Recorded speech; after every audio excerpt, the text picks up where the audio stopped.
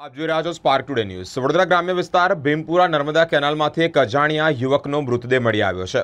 ભીમપુરા પાસેથી પસાર થતી નર્મદા કેનાલમાંથી પાણીમાં તરતો આ મૃતદેહ જોઈને જ લોકોએ ફાયર બ્રિગેડને જાણ કરી છે. ફાયર બ્રિગેડની ટીમ આ મૃતદેહને પાણીમાંથી બહાર કાઢ્યો છે. તાલુકા પોલીસે આ મૃતદેહ કોનો છે? અજાણ્યા યુવકનો પરિવાર સુધી સંદેશ પહોંચે તે માટે આગળની કાર્યવાહી હાથ ધરી છે. મૃતદેહ તાલુકા પોલીસે જ પોસ્ટમોર્ટમ માટે એસએસજી હોસ્પિટલ ખસેડ્યો છે. તાલુકા પોલીસે આગળની કાર્યવાહી હાથ ધરી છે.